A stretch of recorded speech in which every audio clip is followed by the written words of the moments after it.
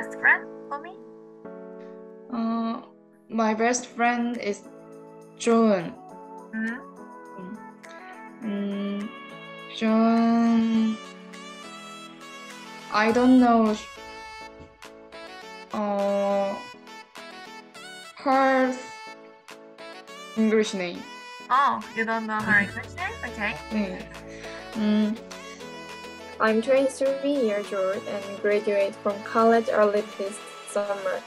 I want to be a history teacher, so I'm studying for the Graduate School of Education. And my hobby is taking a work and reading a book. The reason why I started studying English is self-development. I think I teach English classes is very useful for me.